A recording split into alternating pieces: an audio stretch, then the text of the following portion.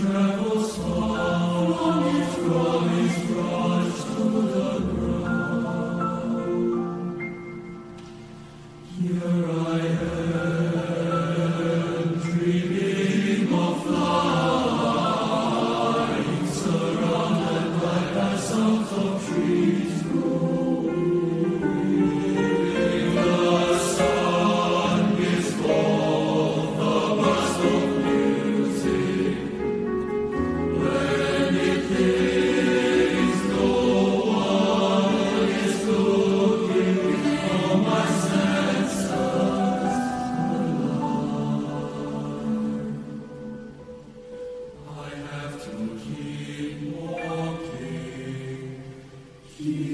The